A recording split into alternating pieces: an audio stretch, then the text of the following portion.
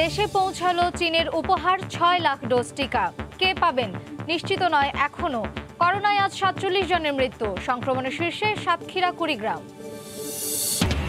বেগম জিয়ার জন্মদিন কবে? জানতে চান উচ্চ আদালত। দুই মাসের মধ্যে নথিপত্র জমা দেওয়ার নির্দেশ। বিএনপি নেত্রীকে হেয় করার হেয় করতেই রিট। মন্তব্য তার আইনজীবীর। এবং সাকিবের তিন ম্যাচে নিষেধাজ্ঞা মৌকুফ চেয়ে মোহামেডানের আপিল। নিজের অবস্থান ব্যাখ্যা করতে কাল সংবাদ সম্মেলনে আসবেন বিশ্বসেরা অলরাউন্ডার।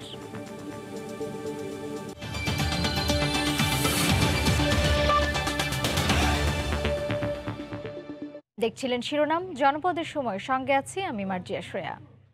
দেশে পৌঁছেছে চীন থেকে উপহার হিসেবে পাওয়া ছয় লাখ ডোজ সিনোভ্যাকের টিকা। বিকেল সাড়ে পাঁচটা নাগাদ বিমান বাহিনীর বিশেষ দুটি বিমানে এ টিকা পৌঁছায়। স্বাস্থ্য অধিদপ্তর বলছে, অগ্রাধিকারের তালিকায় রয়েছে মেডিকেল শিক্ষার্থী, বিশ্ববিদ্যালয় শিক্ষার্থী, মেগা প্রকল্পের কর্মীসহ আরও অনেকে। তবে নির্দিষ্ট করে কারও কথা বলা হচ্ছে না এখনও। ঘড়ির কাটায় তখন বিকেল সাড়ে পাঁচটা ছুঁই ছুঁই হজরত শাহজালাল আন্তর্জাতিক বিমানবন্দরে অবতরণ শেষে বঙ্গবন্ধু বিমান ঘাঁটিতে একে একে প্রবেশ করে বিমান বাহিনীর সি ওয়ান থার্টি মডেলের দুটি বিমান। সঙ্গে নিয়ে দ্বিতীয় দফায় চীনের উপহার ছয় লাখ ডোজ সিনোফার্মের টিকা এরপর শুরু হয় আনলোড প্রক্রিয়া। স্বাস্থ্য অধিদপ্তরের বিশেষায়িত কাবার ফ্যানে দুই থেকে আট ডিগ্রি তাপমাত্রায় টিকা নিয়ে যাওয়া হয় ইপিআই সেন্টারে। এই ভ্যাকসিনটা দুই থেকে আট ডিগ্রি সেন্টিগ্রেড তাপমাত্রায় সংরক্ষণ করা যায়।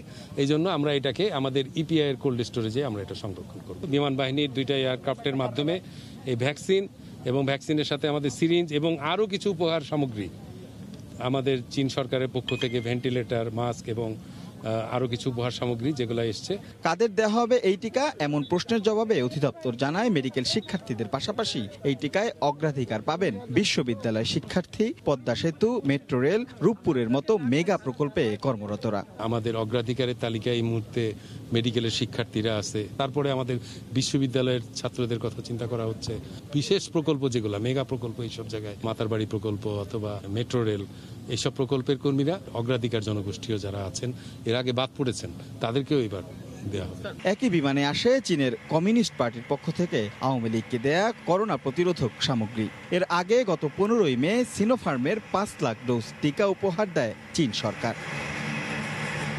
দেশে চলমান ভ্যাকসিন সংকটের মধ্যে চীন থেকে পাওয়া এই ছয় লক্ষ ডোজও নিঃসন্দেহে স্বস্তির যোগান দিচ্ছে।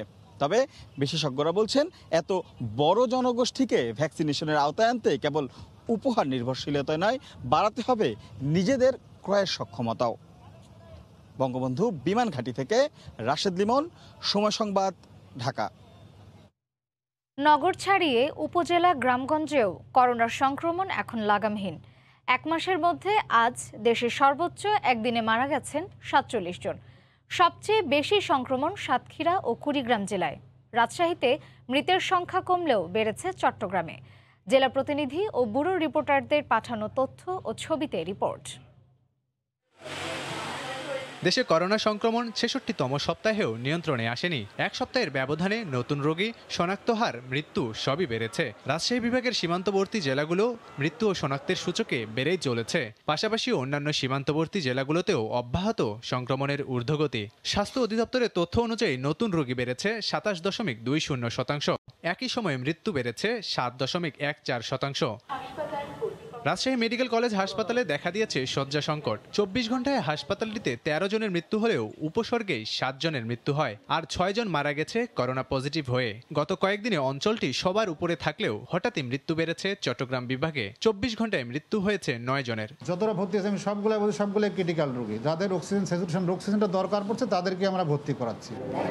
এদিকে খুলনায় বাড়ছে রোগীর চাপ। একদিনে মারা গেছে আটজন হাসপাতালে সংকট দেখা দিয়েছে শয্যার মেঝেতেও চলছে চিকিৎসা। ক্রমবর্ধমান রোগীর চাপ বৃদ্ধি পাওয়াতে আমরা খুলনা মেডিকেল কলেজ হাসপাতালে করোনা ইউনিট টু চালু করতে যাচ্ছি। সীমান্ত জেলা সাতক্ষীরায় চব্বিশ ঘন্টায় করোনায় একজন ও উপসর্গ নিয়ে দুইজন মারা গেছেন। আইসিইউ সংকটের কারণে রোগীর মৃত্যু হচ্ছে বলে অভিযোগ স্বজনদের। আমার মা বিনা চিকিৎসায় মারা যাবে। আর চার দিন কোনো ডাক্তার আইসিটি যাচ্ছে না। করোনা সংক্রমণ বাড়ছে যশোরেও। লকডাউন চললেও মানছে না স্বাস্থ্যবিধি। মাস্ক না পরেই চলাফেরা করছেন মানুষ। একই অবস্থায় উত্তরের সীমান্ত জেলা ঠাকুরগাঁয়ে বাড়ছে রোগীর সংখ্যা। একদিনে একশো পঞ্চাশ নমুনা পরীক্ষায় উনপঞ্চাশ জন শনাক্ত মৃত্যু একজনের আর কুড়িগ্রামে ছাপ্পান্ন শতাংশের বেশি শনাক্ত।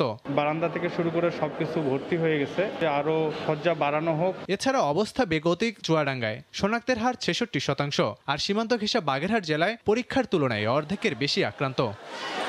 লাবিব হাসান সময় সংবাদ। সাতক্ষীরার করোনা পরিস্থিতি জানাতে এই মুহূর্তে সাতক্ষীরার নিউ মার্কেট এলাকায় আছেন সহকর্মী মমতাজ আহমদ বাপি। সরাসরি যাচ্ছি তার কাছে। বাপি। সীমান্ত জেলার সাতক্ষীরার করোনা পরিস্থিতি ক্রমে অবনতি ঘটছে। এখানে প্রতিদিনই করোনা রোগী করোনা উপসর্গ নিয়ে মারা যাচ্ছে। প্রতিদিন এক শতাধিক রুগী করোনা আক্রান্তের রিপোর্ট আসছে। এরপরও মানুষ যে এত বাইরে আসছে, প্রতিহত করার কোনো সুযোগ পাওয়া যাচ্ছে না। এমনকি তাদের এই- যে করোনা পরিস্থিতিতে যে তারা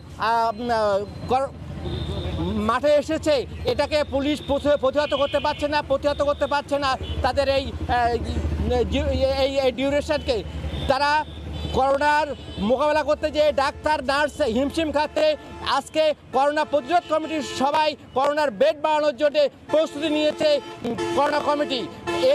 মেডিকেল কলেজে দেড়শো বেডের জায়গায় আরও একশো বেড বাড়ানোর চেষ্টা করছে কর্তৃপক্ষ। একই সাথে তারা ডাক্তার এবং নার্সের ইয়ে চাহিদা পাঠিয়েছে কেন্দ্রে। তাদের এই করোনা সেবা দিতে যে এখন সর্বশেষ তত্ত্বাবধায়ক আমাদেরকে জানিয়েছে একজন ডাক্তার ও একত্রিশ জন নার্স সহ পাঁচজন টেকনিশিয়ান তারা করোনায় আক্রান্ত হয়েছেন। এই করোনা আক্রান্তের কারণেই তাদেরকে কিছুটা পিছু হাঁটার মতো অবস্থার সৃষ্টি হয়েছে। তারপরেও তারা চায় সেবা দিতে, চায় করোনার প্রতিরোধ করতে। প্রশাসনও করোনা প্রতিরোধ করতে মাঠে রয়েছে, কিন্তু তারা কিছুই এগোতে পারছে না। কারণ সাধারণ মানুষকে সচেতন করা যাচ্ছে না, সাধারণ মানুষকে বাড়ি ফেরানো যাচ্ছে না। এই হলো সাতক্ষীরার সর্বশেষ করোনা পরিস্থিতি। মার্জিয়া। সাতক্ষীরার নিউ মার্কেট এলাকা থেকে করোনা পরিস্থিতির সর্বশেষ জানাচ্ছিলেন সহকর্মী মমতাজ আহমদ বাপি। ভারতের সঙ্গে সীমান্ত বন্ধের মেয়াদ ত্রিশ জুন পর্যন্ত বাড়ানো হয়েছে বলে জানিয়েছেন পররাষ্ট্র সচিব মাসুদ বিন মোমেন। বিকেলে পররাষ্ট্র মন্ত্রণালয়ে এ সংক্রান্ত আন্তঃমন্ত্রণালয় কমিটির বৈঠক শেষে একথা বলেন তিনি। বর্তমানে যে রেস্ট্রিকশনটা আছে বা বিধিনিষেধ যেটা চলছে সেটা আমরা তিরিশে জুন পর্যন্ত আমরা বর্ধিত করা হলো। ওভারঅল পরিস্থিতি যেটা আছে ভারতে এখন কমে আসছে অনেক আমরা দেখেছি। যে এরকম চলতে থাকলে আমরা আশা করছি যে আগামী মাসের প্রথম থেকে হয়তো আমরা আহ, সম্পর্কের এই যে যাতায়াতের বিষয়গুলো অনেকটাই আমরা স্বাভাবিক করতে পারি। রোগীর প্রতি ব্যবহার ষোলো জোড়া গ্লাভস ইকুইপমেন্ট আর ল্যাব খরচের নামে বিলের পাহাড়। রোগ নির্ণয় আর পরীক্ষা নিরীক্ষায় প্রয়োজন আর অপ্রয়োজনের ধোঁয়াশার ভুতুরে বিলে নিঃস্ব হওয়ার অবস্থা কোভিড রোগীদের। স্বাস্থ্য অর্থনীতি গবেষকরা বলছেন, বেসরকারি হাসপাতালগুলোতে নজরদারির পাশাপাশি গ্রেডিং পদ্ধতি প্রয়োজন। জবাবদিহিতা না থাকায় এমন স্বেচ্ছাচারিতা, বলছেন স্বাস্থ্য বিশ্লেষকরা। রাজধানীর একটি বেসরকারি হাসপাতালে কোভিড চিকিৎসায় আইসিইউ বেড সংখ্যা বাইশ। আইসিইউর বেড প্রতি ষোলো জোড়া গ্লাভসের বিল নেওয়া হয়। অর্থাৎ প্রতিদিন মোট তিনশো বাউান্ন জোড়া গ্লাভসের অর্থ রাখছে হাসপাতালটি। সে হিসেবে তিন বেলায় একশো সতেরো জোড়া ব্যবহার করার কথা। যা ব্যবহারের জন্য প্রতিবেলায় ডিউটিতে থাকতে হবে উনচল্লিশ জন কর্তব্যরত ব্যক্তি। কিন্তু তা কি আছে? বেসরকারি হাসপাতালে এমন সব অস্বাভাবিক খরচের বোঝা নিচ্ছেন কোভিড রোগীরা।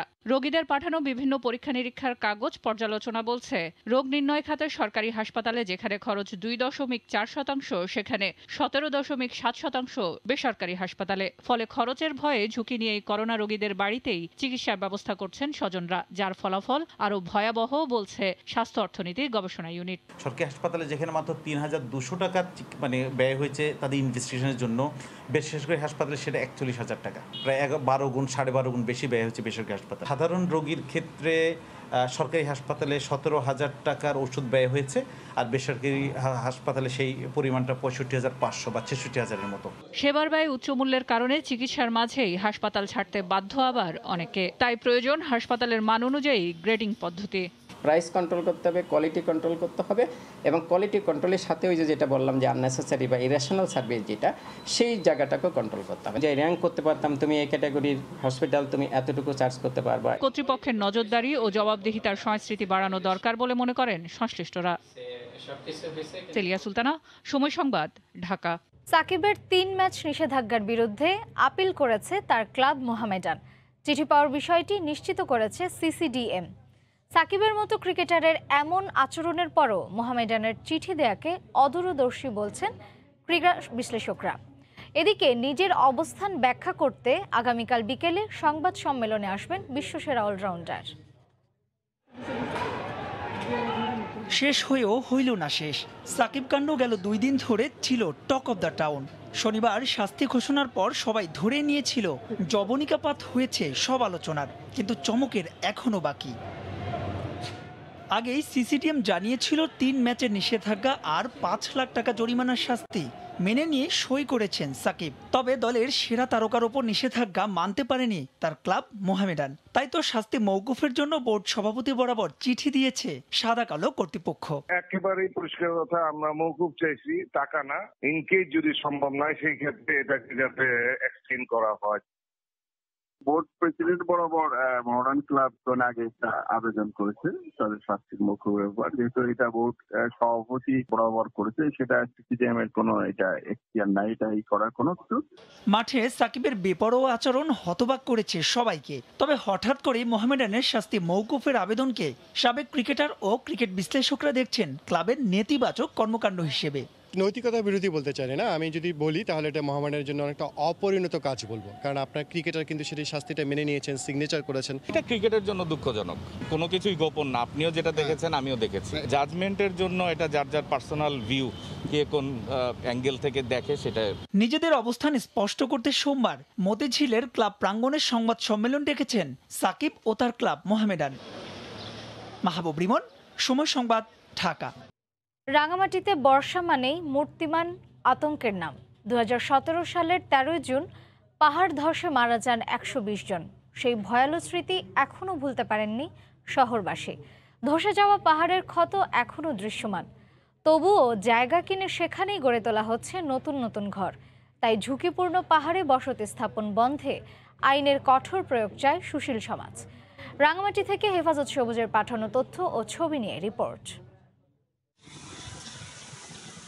রাঙামাটি শহরের শিমুলতুলি এলাকা। দাঁড়িয়ে আছে জেলা প্রশাসনের ঝুঁকিপূর্ণ এলাকার সাইনবোর্ড। পাশেই দু হাজার সতেরো সালে ধসে যাওয়া পাহাড়ের ক্ষতচিহ্ন দেখা যাচ্ছে। তারপরেও সেখানে বসবাস করছেন হাজারো মানুষ। দুই পাশে উঁচু পাহাড়ের গায়ে ও পাদদেশ জুড়ে বসতি। কোথাও কোথাও তৈরি হয়েছে দালানো এমন চিত্র শুধু শিমুলতলিই নয়। বাদ যায়নি রূপনগর, সনাতনপাড়া যুব উন্নয়ন এলাকা, রাঙাপানি বা বাংলাদেশ বেতার এলাকা। শুরু হয়েছে বর্ষা মৌসুম কিন্তু ঝুঁকি নিয়ে মাথা ব্যথা নেই বসবাসকারীদের। বিভিন্ন অজুহাতে তারা তৈরি করছেন নতুন নতুন স্থাপনা। নিজেদের অবৈধ বসবাসকারী মানতেও নারাজ তারা। দুর্যোগ আইলে বলে আমরা এখানে অবৈধ অবৈধ ভাবে দখল করছি আমরা তো এখানে জায়গা কিনে নিছি দি।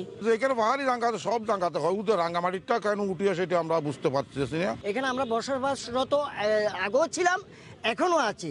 এবং ভবিষ্যতেও কিন্তু ইনশাল্লাহ আমরা থাকব। পাহাড়ের সৌন্দর্য এবং জানমাল রক্ষা করতে তাই সংসদীয় কমিটির সুপারিশ এবং আইনের কঠোর বাস্তবায়ন চায় সুশীল সমাজ। প্রশাসনের পক্ষ থেকে যে পদক্ষেপ নেওয়া দরকার ছিল সেগুলো নেওয়া হয়নি। সুতরাং আগামী বর্ষায় বা এই পরের বর্ষায় বা সামনে কোনো বর্ষায় আবার একই ধরনের ঘটনা ঘটবে আবারও মৃত্যু হবে। যার যেটা দায়িত্ব সেই দায়িত্বটা যদি যথাভাবে যথাভাবে পালন কর পালন করা হয় তাহলে কেন এই ধরনের কাজ হবে? সরকারের গৃহহীন প্রকল্পের মাধ্যমে সমস্যার স্থায়ী সমাধানের পথ খুঁজছে প্রশাসন। যারা গৃহহীন তারা তাদেরকে ওখান থেকে চিহ্নিত করে আমরা ওখান থেকে পুনর্বাসনের ব্যবস্থা করলে আমার মনে হয় তাদের জন্য ভালো হবে। জেলা প্রশাসনের তথ্য মতে রাঙামাটি জেলায় তেত্রিশটি ঝুঁকিপূর্ণ স্থানে বসবাস করছে বিশ হাজার পরিবার। সময় সংবাদ রাঙামাটি। জানিয়ে দিচ্ছি জনপদের সময় শিরোনামগুলো। দেশে পৌঁছালো চীনের উপহার ছয় লাখ ডোজ টিকা। কে পাবেন নিশ্চিত নয় এখনও করোনায় আজ সাতচল্লিশ জনের মৃত্যু। সংক্রমণে শীর্ষে সাতক্ষীরা, কুড়িগ্রাম। এবং বেগম জিয়ার জন্মদিন কবে? জানতে চান উচ্চ আদালত। দুই মাসের মধ্যে নথিপত্র জমা দেওয়ার নির্দেশ বিএনপিকে। বিএনপি নেত্রীকে হেউ করতেই রিট, মন্তব্য তার আইনজীবীর। এই ছিল এখনকার মতো। সঙ্গে থাকুন সময়